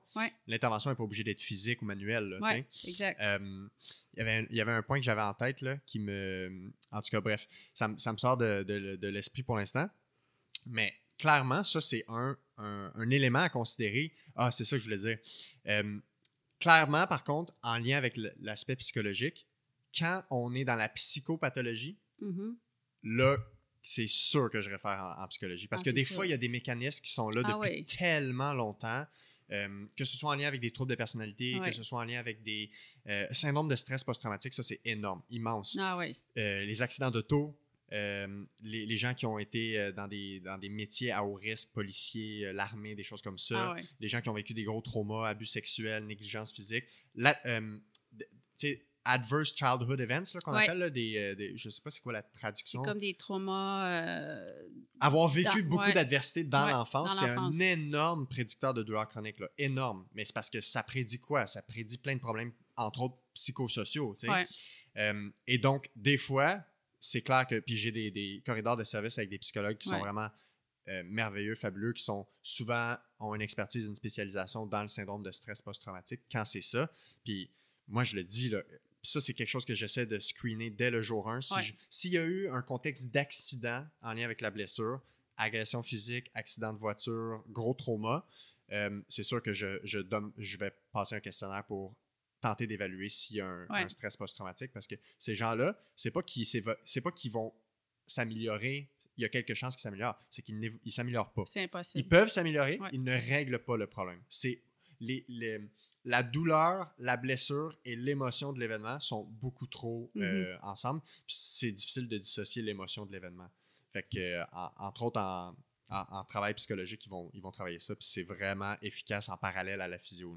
Ben, parce que l'approche puis la- la- le type de thérapie pour ces gens-là est très précise. Ouais. C'est la même chose pour moi. hein. Tu sais, Moi, je moi, je, je, je suis pas psychologue, donc non, euh, je vais accompagner des gens, mais c'est toujours dans du, dans du, des gens qui sont dans la norma- normalité ou du sous-clinique. Ou ça. qu'on rentre dans une problématique ou un diagnostic, c'est sûr que tu si tu réfères à un psychologue, c'est Ouais. clair. Parce que, bon, premièrement, premièrement, c'est qu'ils ont l'expertise pour approcher cet angle-là. Puis comme tu dis, de toute façon, ils vont pas progresser pareil parce qu'ils ont comme à régler d'autres problèmes. Puis Ouais. c'est vraiment la job là, du psychologue à ce moment-là. Ouais, c'est ça. Fait que c'est là où le travail multidisciplinaire devient vraiment, vraiment intéressant. Mais c'est tellement impressionnant à quel point les facteurs psychologiques et sociaux, dans mon domaine à moi, prédisent beaucoup plus nos succès que Ouais. la sévérité de la blessure en tant que telle. Ouais, drôle. Fait que hein. De la même façon que, dans, dans- avec la, la- la clientèle que tu as, les gens que tu essaies d'aider, Mhm. leur défi, c'est clairement en lien avec la psychologie, c'est clairement Ouais. en lien avec un peu leur, leur bagage de tout Mhm. ça. Euh, c'est quoi d'autres genres d'outils ou de, de trucs concrets que les gens appliquent après ça pour faire face à l'anxiété, le stress, quand tu identifies que c'est vraiment un, un- un obstacle majeur dans le changement de comportement? Oui. Ben, comme, je- comme je disais, l'activation de la motivation Ouais. intrinsèque, ça, ça fait déjà là, comme une grosse job en Ouais. soi. C'est sûr que quand tu veux adresser la, une ge- gestion de stress puis d'anxiété, il faut quand même que tu adresses les éléments qui sont anxiogènes. Donc, tu peux pas. Parce que le problème avec l'anxiété, c'est comme tu évites la situation. Ouais. le, phénomène d'évitement va toujours faire escalader le- le- l'anxiété par Ouais. rapport à cet événement-là. Donc, c'est sûr qu'une des stratégies pour adresser l'anxiété, c'est de dire, bon, c'est quoi l'élément an- anxiogène? Puis il faut comme tu développes un plan de match, un plan d'action par rapport à ça, puis que tu essaies de contrôler le plus que tu peux contrôler. Donc, c'est souvent l'anticipation d'un scénario, de Mhm. quelque chose. Mhm. Donc, euh, pour te donner, par exemple, un- si je te donne un exemple là, de, de choses que tu dis, hey boy, comment tu fais pour gérer ça? Je sais pas, mettons une de mes clientes où est-ce que son, son mari a eu, mettons, un diagnostic d'un- d'une maladie chronique qui peut se dévoiler n'importe quand. Donc, c'est comme une bombe à retardement. Ouais, on ne sait pas ça va être quand. on ne sait pas ça va être quand. Donc, ça, c'est très anxiogène. Tu sais, c'est ton partenaire de vie, puis là, tu, tu- tu vis à tous les jours, puis tu dis peut-être qu'à un moment donné, le cancer tu sais, va- ou le- la maladie va se déclarer. Puis ça, ça crée de l'anxiété au quotidien. Donc, avec cette personne-là, c'est comme faut que tu travailles sur deux volets. Juste le fait de la mettre en action puis d'activer la motivation intrinsèque va faire détacher son cerveau de, sur l'élément anxiogène. De- déjà, ça va aider énormément parce qu'il va avoir d'autres choses sur lesquelles elle a des intérêts ou il y a des intérêts. Puis, ça va venir, comme je te dis, comme enlever le, enlever comme l'espèce d'attachement ou de concentration sur l'élément anxiogène. Donc, ça, c'est une chose à faire. Il y a déjà une grosse amélioration. Mais il faut faire quelque chose par rapport à ça. Puis là, tu vas me dire, mais oui, mais qu'est-ce que tu veux faire? Il n'y a rien à Mhm. faire. Mais la question, c'est qu'est-ce qui crée l'anxiété par rapport à cet événement-là? Mis à part le fait que, euh, oui, ça peut arriver n'importe quand. Il y a- puis là, quand tu poses des questions puis tu creuses, il y a des éléments spécifiques, comme par exemple le fait de si un jour je me retrouve tout seul, comment je vais faire pour Hmm. m'occuper de toutes Ouais. les. Tu sais, j'ai- des enfants, comment je vais faire pour m'occuper de toutes les tâches que mon mari est responsable? OK, plan d'action, c'est on va commencer à apprendre à faire des choses que lui il fait actuellement, puis on va se sentir équipé si jamais ça arrive. ouais, ouais. Tu comprends? Ouais. Donc, il faut faire un plan d'action sur qu'est-ce qu'on peut contrôler. Puis, les, les, les parce que c'est ça qui crée de l'anxiété. Ah, si je me retrouve tout seul, comment je vais faire pour, pour- comme, comme tout gérer? Comment je vais faire pour...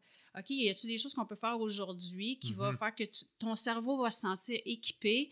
Puis ça, ça va pas éliminer l'anxiété par rapport à ça, mais ça va venir assouvir grandement, diminuer, puis ça va plus être euh, handicapant ou tu sais, du fait que tu sais, ça t'empêche de fonctionner. Ouais. Donc, il faut que tu travailles comme un peu sur deux volets, je te dirais.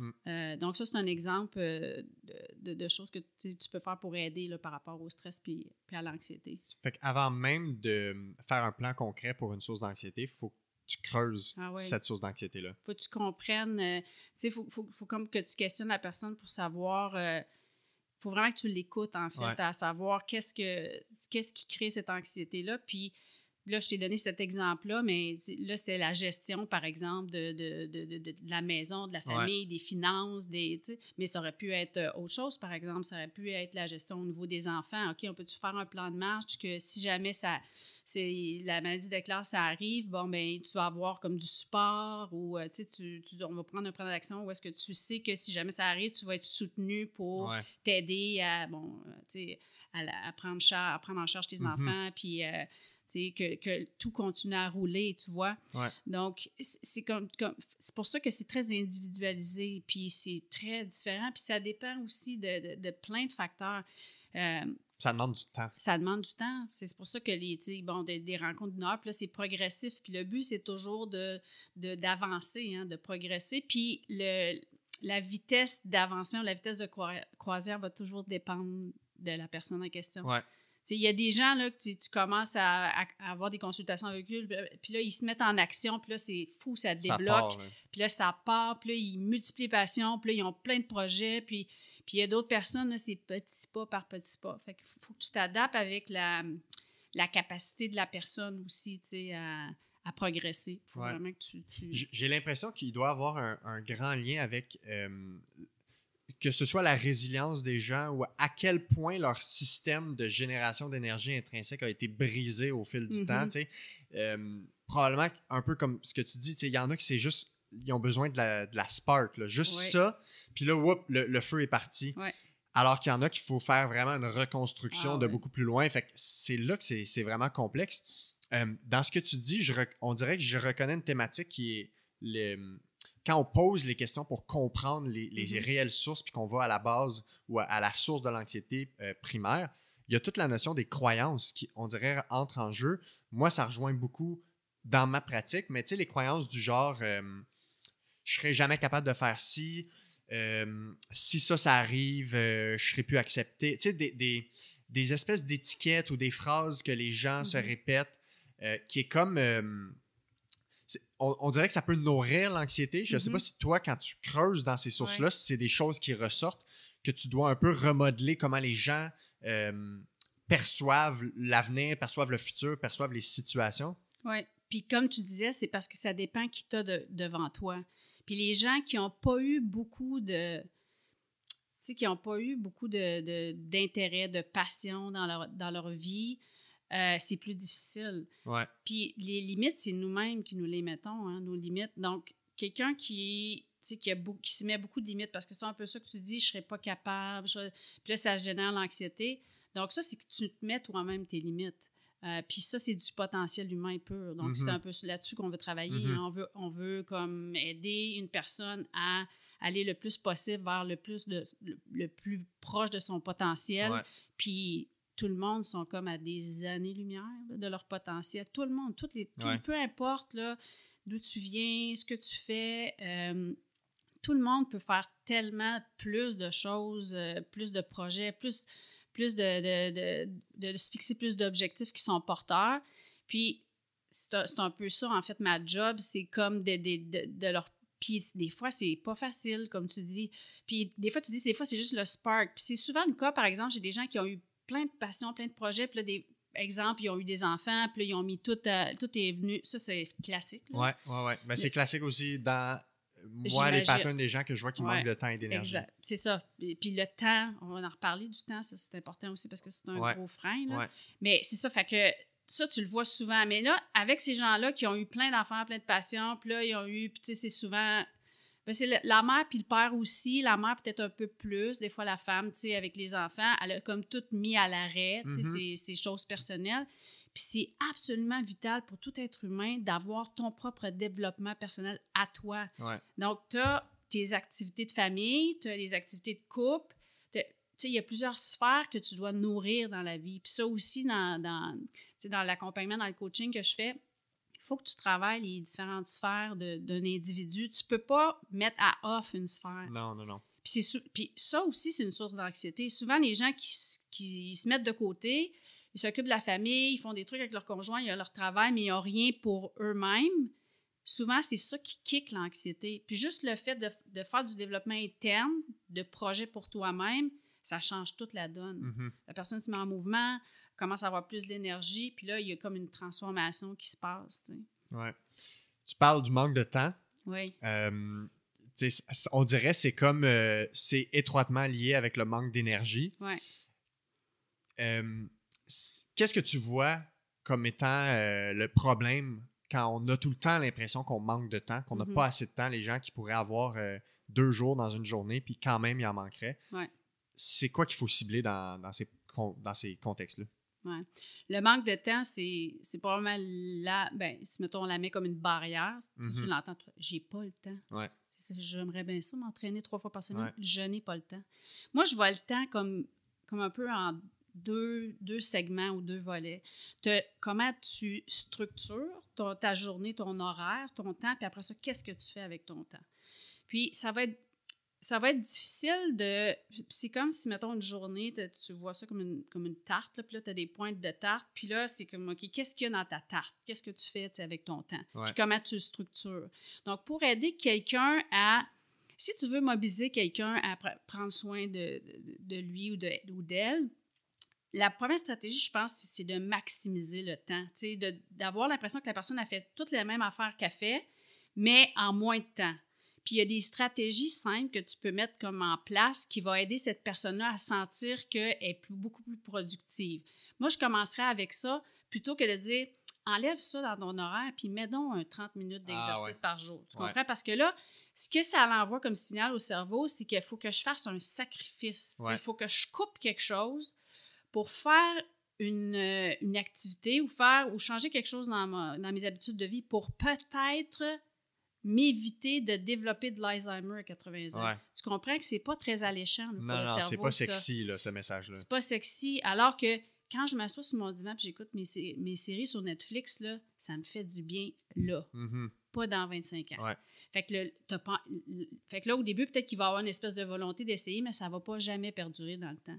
Fait que je pense que quand tu adresses le temps, la première chose que tu devrais essayer de faire, c'est de sentir que la personne est beaucoup plus efficace avec ce qu'elle fait actuellement. Puis, moi, souvent, euh, j'a- j'aborde le, le concept des, euh, des distracteurs. OK? Mm. Énorme. Oui, ça, c'est. Puis, c'est hyper efficace quand tu commences à introduire ça, l'effet des distracteurs.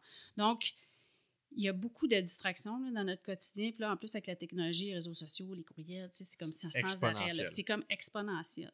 Fait qu'il y a deux types de distracteurs. Il y a les distracteurs externes. Ça, c'est les bing, les ding, les, bon, les, Les alertes, notifications, les notifications. Téléphone qui sonne. Tu es en train de travailler sur un projet, ting! Ouais. Là, c'est sûr là, que tu y vas. Ah, puis c'est long à revenir. Puis là, quand tu reviens, le back and forth, c'est fou à quel point tu Ouais. perds du temps. Ouais, ouais. Ok? Fait que là, ça a l'air niaiseux, mais c'est des petites stratégies de gestion de tes alertes, Mhm. puis de l'organisation de ton horaire, de ton calendrier. Fait que souvent, tu sais, je vais dire, euh, avant de parler de ça, donc là, il y a les distracteurs externes, Ouais. puis il y a les distracteurs internes. Puis ça, c'est plus le nerf de la guerre. Fait que les distracteurs internes, c'est carrément une pulsion interne qui fait que là, tu sais quoi, je vais juste regarder mes courriels. Tes pensées, tes Ouais. envies. euh, c'est souvent quand tu fais quelque chose qui est un peu plus dur, mhm. donc tu travailles sur quelque chose, puis là, tu te dis, ah, tu sais, comme, t'es comme dans. Ça- tu, tu- tu sens le besoin de te distraire. Ah, je vais aller me chercher quelque chose à manger. Ah, je. Parce que ça, ça, ça donne un. Tu comprends sur ce que tu es en train de faire. Mhm. Donc, il y a des stratégies pour contrer ça. Puis c'est des choses simples. Puis quand tu, tu donnes ça à quelqu'un d'essayer ça, ah ben là, c'est comme une révélation. OK? Mais les distracteurs externes, le monde, ils pensent les dings, les notifications, tout ça. Que mais c'est juste 10% en fait de, de- de- Ouais, hein. de la distraction. C'est comme 90% c'est des distractions internes. Donc, c'est nous-mêmes Fait qu'il qui faut des stratégies pour ouais, contrer ça ou moduler ça. moduler ça.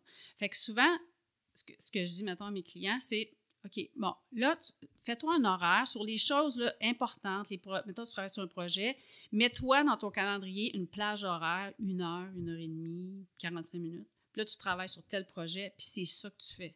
L'idée, là, c'est que quand c'est dans la plage horaire, ce n'est que ça que Ouais. tu fais. OK? Puis là, ben, ferme ton téléphone, ferme toutes les notifications, va sur ton ordinateur, tu sais, ne pas déranger, tout ça puis essaye ça. Donc là, ça, c'est la distra- Ça, c'est pour éliminer les distracteurs externes, qui est 10 Ouais. Là, maintenant, pour les distracteurs internes, souvent, ce qui arrive, c'est comme une espèce de pulsion interne, mais c'est comme une vague, ça passe. OK? Fait que là, je dis, mettons que tu as envie, tu en puis là, tu dis, OK, j'ai envie d'aller regarder mes courriels, j'ai envie comme de te détacher de ce que je suis en train de faire. Mets 10 minutes sur ton téléphone, un timer, puis permets-toi dans 10 minutes, OK, là, tu revois tes courriels. Mhm. La plupart du temps, ça passe. Ouais. Ça passe parce que là, tu rembarques dans ce que tu es en train de faire, puis tu l'oublies, tu sais. Puis là, si ça revient, mets-toi un autre. euh, Puis il existe plein d'applications, là. Ouais. Honnêtement, là, j'ai une application qui s'appelle euh, Tree euh, Focus. là. Puis là, tu- là, il y a comme un arbre qui, tu sais, qui, qui grossit, puis qui se Mhm. pose. Puis après ça, il y a une autre. Ça a l'air niaiseux, puis les gens, ils veulent pas tuer l'arbre. Ouais. Et ça il y a comme des millions de gens qui utilisent ça, puis Ouais. c'est comme un 5 étoiles de, tu sais, en termes de... hein? Ouais, ouais, ça fonctionne parce que là, tu pars ton application, puis là, mettons, tu travailles. Là, tu es en train de, tu sais, de, de faire pousser tu sais, des, Ouais. des, des arbres différents. Mais là, si tu prends tes courriels, il faut que tu tues ta forêt. Hmm. Mais c'est tout psychologique, Ouais, tu comprends? Fait que, il y a des petits trucs comme ça. Ça prouve que c'est modulable, C'est nos mod- pensées par rapport à Ben ça. oui, c'est modulable. Puis c'est des petits trucs que juste à mettre ça en application. Puis là, souvent, j'ai des clients, c'est complètement fou. Tu peux pas savoir, j'ai fait comme en 30 minutes ce qui me prend 4 heures à faire habituellement. ouais, ouais. Parce que le fait de décrocher, revenir, décrocher, revenir, ça a un impact là, majeur sur la, sur la, Ouais, la productivité. Mais ça, je voulais, je voulais en parler parce que je, je sais pas euh, si les données sont les bonnes, mais dans, dans les études qui s'intéressent à savoir combien de temps ça prend pour rentrer dans un état, tu sais, Oui. l'état de flow qu'on appelle, là, Oui. quand, tu, quand tu sens que le temps il passe, puis tu es absorbé dans ce que tu fais, puis Mhm. tu pourrais avoir passé quatre heures sans que personne, tu sais, le monde extérieur n'existe plus. Ça, c'est un état dans lequel on veut être quand Exact. on travaille. C'est productif, le temps est bien investi. Puis quand on a une distraction puis qu'on sort, c'est long revenir dans cet Ah état-là. Des, des chiffres que j'en- j'entends, ça varie entre 10, 15, 20, puis des fois jusqu'à Mhm. 30 minutes pour retourner là-dedans. Fait que ça a un coût énorme Ouais. sur même juste l'énergie de se remettre dedans. Ouais. Perte d'énergie, perte de temps. Puis juste dans la, la continuité du travail. Puis ça, c'est un élément que je vois beaucoup, beaucoup. Puis en lien avec, depuis, depuis la pandémie, là, depuis deux ans, là, Mhm. il y a une immense catégorie de douleurs, entre guillemets, bizarres là, qui sont apparues dans nos bureaux. Là. Ça. Puis c'est tous des gens qui ont comme des maux de dos, des maux de cou, des maux d'épaule. C'est pas tant clair c'est quoi qui cause ça. C'est pas vraiment lié à un mouvement, lié à une activité. Mais le, le, fac- le dénominateur commun, qui a été en tout cas dans ma pratique à moi, c'est un changement drastique dans comment la journée est organisée. Ouais. Fait qu'avant, quand les gens allaient au bureau, de un, ils prenaient peut-être le métro, Mhm. marchaient 10 minutes, après Mhm. ça, montaient les escaliers, s'assoyaient au bureau. Bon, une heure, deux heures de travail, oups, on va se prendre un café, on se lève, on marche un peu, ils ont une heure de dîner, ils ont une heure de retour. Comme toute la journée était structurée. Ouais. Là, le travail là, à la maison, télétravail, c'est comme de place. 8 à 8. Mm. Ah, là, là, mon enfant, il a besoin de ci, fait qu'on va arrêter de travailler, on va retourner tantôt. Mhm. Ah, ben, je vais, pourquoi pas prendre mon- mes courriels devant mon café avec mon déjeuner. Ben là, je- ah, j'ai un Zoom, ah, je vais manger en même temps. Pourquoi pas faire ma rencontre en mangeant en même temps? Les gens rouvrent l'ordi le soir, puis c'est fascinant. Tout le monde me dit la même chose. Je travaille plus d'heures pour Ah faire la même job. Exact. Puis il y a des études qui ont été faites sur des modèles où ils réduisaient les heures de travail chez les gens Mhm. pour mesurer la productivité, puis la productivité augmente, puis le chiffre d'affaires augmente. Fait que c'est sûr que dans la façon qu'on structure qu'on organise le temps, on n'est clairement pas au plein potentiel de ce qu'on peut faire avec ça. Mhm. Puis c'est pas vrai que de travailler plus de temps veut dire qu'on travaille mieux puis qu'on génère plus de productivité. Fait c'est sûr qu'il faut revoir notre modèle de comment on, on organise nos journées, puis même comment les compagnies structurent leurs employés dans la gestion du temps. Oui, c'est. Puis tu l'as dit, c'est pas une question de, de nombre d'heures. Puis ça, c'est un défi. Je vais te donner un exemple parce que ça dépend avec qui tu. Tu sais, ça dépend avec quel groupe tu travailles, OK? Donc, si tu prends des entrepreneurs, par exemple, OK? Les entrepreneurs, là, c'est un groupe hyper. Puis je te parle de ça parce que j'ai un projet en développement sur la santé des entrepreneurs. Puis les entrepreneurs, c'est des gens qui sont très vulnérables au niveau de problèmes de santé. là. C'est- très, c'est connu, puis on en parle de plus en plus. Fait que les entrepreneurs, ils, ils mettent beaucoup, beaucoup, beaucoup de temps. Tout est dans leur business, puis il y a toujours plus à faire. Quand tu as un business, Ah ouais, là, la liste est en continu. non, mais ça finit pas. Tu pourrais travailler ça. 24 sur 24, euh, sur, T'en sur aurais pas 7, assez. puis tu n'en aurais pas assez. tu sais. Ouais. Fait que ça, c'est comme un- c'est intéressant, ce groupe-là, parce que la gestion du temps, c'est un gros, gros, gros défi. Parce que essaie de dire à une personne qui est entrepreneur, qui a travaillé fort, qui a monté son business, de dire OK, là, il faut que tu décroches de ton business, puis il faut que tu aies d'autres passions. Tu sais, Il faut que tu développes de la motivation intrinsèque dans d'autres dans D'autres sphères. sphères. Puis tu sais quoi? Plus tu as de passion, mieux ton business va, va Ouais. aller. Fait que là, c'est comme contre-intuitif, Ouais. tu vois, parce que le nombre d'heures qui va être alloué dans ton business va être vraiment moindre. Puis là, plus j'ai de passion, moins je passe de temps. Mais tu sais quoi? Si tu fais cet exercice-là, tu vas être beaucoup plus productif parce que là, tu génères ton énergie dans toutes tes autres passions. Tu reposes ton cerveau par rapport à la Mhm. situation avec ton business. Puis là, fait, fait que là, tout est comme, tu es gagnant, gagnant, gagnant tout le temps. Ouais. Tu passes moins de temps, mais tu es plus productif, tu es plus créatif, tu es beaucoup plus tu es apte à gérer le stress au quotidien, tu es meilleur pour gérer tes employés, tu as plus de succès et guess what? Tu fais plus d'argent au Ouais. final. Puis ça, ça n'a pas de prix. Mais il faut que tu amènes ces gens-là à comprendre ça puis à commencer à déclencher ce, ce processus-là. Ouais. Euh, donc, le, en termes de temps pour ce groupe-là, ben, l'approche va être différente que si tu veux essayer de gérer du temps ou euh, les gens qui disent qu'ils n'ont pas assez de temps, chez des gens qui ont juste de la consommation de, choses ou de la motivation Externe. externe, puis que c'est pour d'autres raisons qu'ils ont l'impression qu'ils n'ont pas de temps. Mais si tu lui dis, tu sais, ton, ton, ton deux heures de, de, de Netflix le soir, bien, prends donc un 30 minutes pour, comme je disais, pour euh, aller faire l'exercice. Ça, le cerveau, il ne va pas prendre ça positivement. Mais je regardais, les, c'est fou, là, les statistiques. Là, sur- Ouais. En 2021, là, je veux dire, les Québécois puis les Québécoises, ils regardent en moyenne 28 heures de télévision par semaine. Ah ouais, hein, ça me surprend Ça pas. fait 4 heures par jour, Ouais. puis à peu près comme presque 2 heures de réseaux sociaux. Mais là, moi, j'étais que je suis comme tombée des nues quand Ouais. j'ai vu ça parce que moi, je regarde pas de télé. Donc, ça veut dire qu'il y en a qui en regardent 6 puis 7. Ouais, ouais, c'est Pour co- pour compenser pour moi. Mais c'est fou, là. Puis, mais c'est correct, là, de, de- de- de regarder la télé, puis de, mets-le dans ton horaire, puis, tu sais, t'es dit du temps à ça. Mais, fait que c'est ça. Fait que tout le concept de la gestion du temps, là, euh, il faut que tu aies une stratégie qui va faire en sorte que la personne va avoir, qui, là, ça vaut, il faut qu'elle voit un gain, tu Ouais. sais, plutôt que de voir une perte de quelque chose Mhm. pour être capable de la mobiliser, là. Ouais. Clairement, le, le, le, le temps, c'est vraiment Ah ouais. un, un domaine. C'est vraiment quelque chose qui revient. Puis, mais mais c'est vraiment fou. Comme, ça m'a vraiment surpris de savoir que les gens, ils savent consciemment, ils Mhm. travaillent plus d'heures. Ouais, Ils sont payés le même salaire. Ouais. tu sais, Parce que, en tout cas, souvent, c'est des gens qui sont salariés à l'année. Ils ont un salaire où euh, c'est c'est par euh, projet à accomplir ou par tâche à accomplir. ouais. Des fois, ça remet un peu en question comment on, même comment on, on rémunère les gens.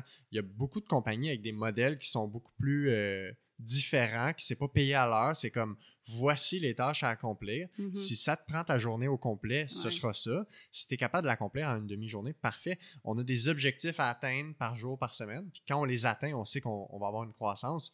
C'est intéressant, le- l'échantillon de groupe de- d'entrepreneurs que tu parles, tu sais, qui est clairement une population à l'étude fascinante. Mhm. Euh, c'est sûr que tu peux tout le temps en faire plus. Ben oui. Puis, le- on dirait, j'ai eu cette conversation récemment avec des amis. Techniquement, tu es payé pour travailler. Donc, quand tu rentres, là, les heures que tu as à faire, c'est pour faire les tâches. Ben, demain matin, il y en a d'autres tâches à faire. Faut, Toujours. comme, si tu te dis que tu veux tout le temps tout faire, ben, c'est parce que le lendemain, qu'est-ce que tu vas faire? Il y en a d'autres choses à faire Mhm. toute ta vie, si on travaille 40, 50 ans, ben, on va tout le temps avoir du travail à accomplir.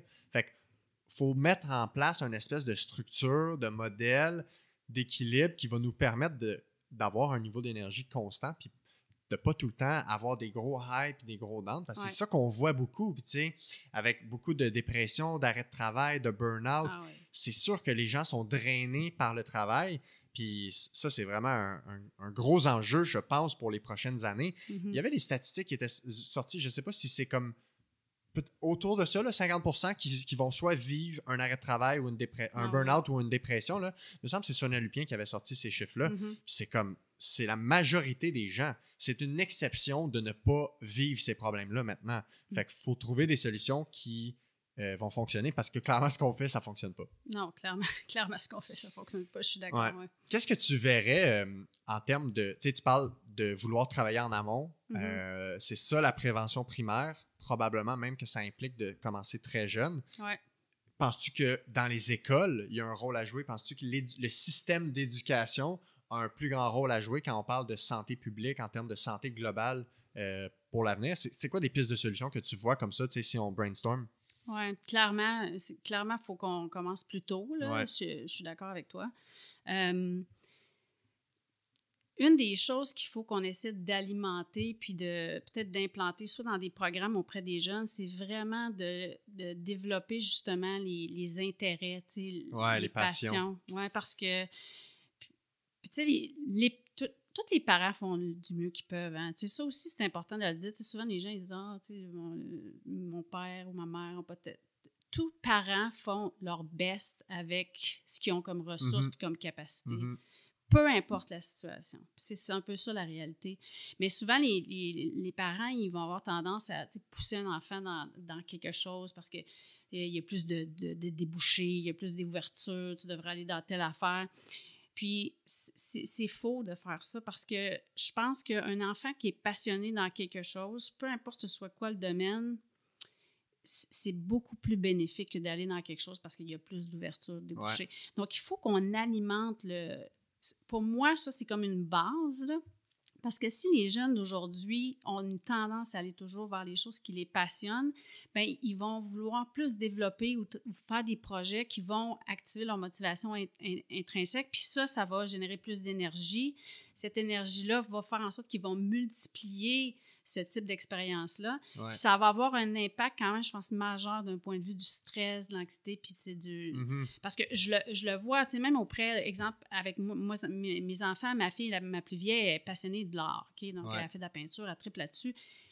Le, niveau d'énergie qu'elle a quand elle sort de ses cours de peinture, puis qu'elle c'est complètement, je veux dire, c'est fou, tu le vois. Puis moi, je le comprends que ça, là, cet état-là, c'est ça que tu veux, tu sais, recréer le plus possible. Mm-hmm. Donc, déjà à la base, on ne met pas assez d'enfants sur les intérêts et les passions. Puis, euh, puis là, on parle de santé, mais c'est comme nécessaire. Là. Ça, c'est comme l'étape de débroussaillage, de préparation pour par la suite. Parce que oui, il faut, faut parler de l'importance de bouger, il faut que les enfants bougent, mais il faut qu'on crée, on produise de l'énergie pour que là, ces enfants-là, sais, comme il y ait un réflexe de poursuivre là-dedans en vieillissant, mais aussi cette énergie-là va être comme un peu comme contagieuse aussi peut-être. ça va se générer de façon automatique. C'est ça, ça va se générer de façon automatique. C'est sûr que ça, c'est plus un enjeu parce que là, le parent, s'il n'est pas dans cette, dans, dans, dans, cette prédisposition-là, ne pourra pas le faire. Tu sais, tout dis, moi, quand j'étais jeune, on mangeait super bien, puis j'ai mm-hmm. toujours bougé, donc moi, c'est comme une habitude, ça a été créé. Dans le meilleur des mondes, c'est ça que tu veux faire. Est-ce que c'est réaliste? C'est plus difficile parce que là, tu sais, on parle à une génération, mais il faut faire quand même de la conscientisation de l'importance de bouger. Ce qui est dur, c'est quand l'enfant revient à la maison, s'il n'y a pas l'exemple du parent, tu comprends? C'est, faut qu'il y ait une espèce de, En fait, il faut que ça travaille main dans la main entre l'école et la maison. Parce qu'on passe tellement de temps à l'école, les enfants passent souvent plus de temps d'éveil en compagnie des, des pères puis des profs que de leurs parents, tu sais. Exact. Puis le temps qu'ils passent avec leurs parents, c'est souvent après que les parents ont fait une journée de travail complète. Ouais. Tu sais, fait que... Ouais, non, c'est sûr que moi, je pense beaucoup que les écoles doivent jouer un rôle, euh, tu sais, ne serait-ce que si on parle de passion, les écoles doivent s'intéresser à comment euh, générer des passions puis euh, encourager les passions chez le plus possible d'élèves dans une école et ça va avec offrir plein de choses variées.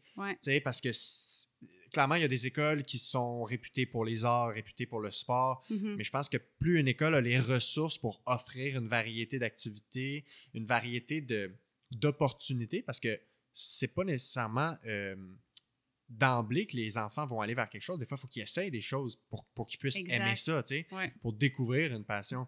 Mais plus les opportunités sont là, plus il y a des chances qu'on génère cette espèce d'étincelle de, chez les gens qui vont développer des passions. Puis, comme tu dis, ça risque d'avoir un effet beaucoup plus bénéfique au-delà du métier, parce qu'on focus beaucoup là-dessus, hein? on, on, focus beaucoup sur la profession. Où est-ce que tu vas aller, dans quel collège, dans quelle profession, qu'est-ce que tu vas faire plus tard? on demande ça à partir de, 12-13 ans. Mm-hmm. Euh, alors que probablement que si les gens sont, ont des passions multiples, ils vont avoir un cursus peut-être atypique chez certains, peut-être très classique chez d'autres, mais le fait d'avoir cette énergie-là, au niveau de la santé globale, ça va être bénéfique parce que ça va se refléter dans toute leur sphère on, a beaucoup tendance à regarder les choses en, silo, mais c'est complexe d'analyser ça d'un point de vue global parce que les experts sont experts dans un domaine et mm-hmm. donc parlent de ce domaine-là, puis on sort de cette loupe-là pour regarder un, autre sphère.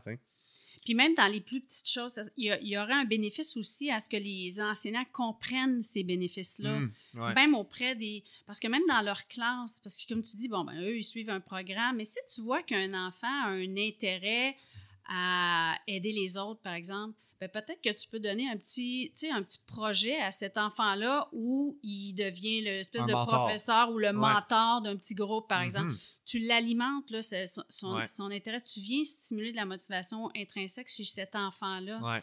Fait que le, le fait de peut-être éduquer les enseignants sur ce concept-là, euh, pourrait peut-être aider. C'est sûr que les enseignants sont quand même débordés. Ah c'est comme. Ils ont déjà beaucoup, beaucoup de contraintes. Oui, euh. puis ils m'ont rajouté quelque chose à ça, mais ne serait-ce même que pour eux-mêmes, tout le monde peut bénéficier de, bénéficier de ça. Mm-hmm. Puis comme tu dis, ben, essayer de stimuler la motivation intrinsèque dans d'autres sphères, pas juste dans le travail vers quoi tu vas. Plus tu vas avoir de passion ailleurs, plus tu vas le comprendre, ça, puis plus, plus tu vas avoir une tendance naturelle à aller vers quelque chose qui, qui, qui qui t'allume là, personnellement. Donc, ça va avoir un effet comme un peu contagieux sur les autres sphères aussi de, mm-hmm. ta vie. Là. Ouais, j'ai l'impression que c'est pas vrai qu'on a absolument besoin de contraintes rigides pour faire développer des compétences à l'école chez les jeunes. Non. Ça n'a pas besoin d'être un projet spécifiquement sur cette thématique-là. Comme on peut se permettre probablement d'être plus euh, euh, ouvert puis de plus mm-hmm. considérer les intérêts des enfants ou de ne serait-ce que d'essayer de, de, favoriser le développement de passion ou d'explorer d'explorer ça. Je pense qu'on est. le système d'éducation, mais c'est gros, c'est comme le système de santé, c'est difficile à, changer.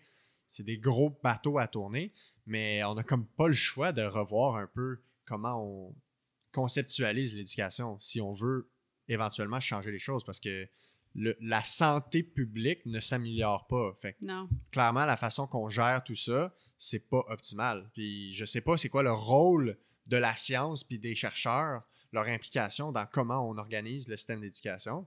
si je pense au système de santé, puis comme à quel point on fait des meilleures décisions basées sur la science, c'est faut se demander cette question-là. Oui, c'est tout le temps. Ça, c'est la plus grande problématique probablement, c'est qu'il existe beaucoup d'informations dans le domaine académique pour y avoir baigné là, pendant mes études graduées.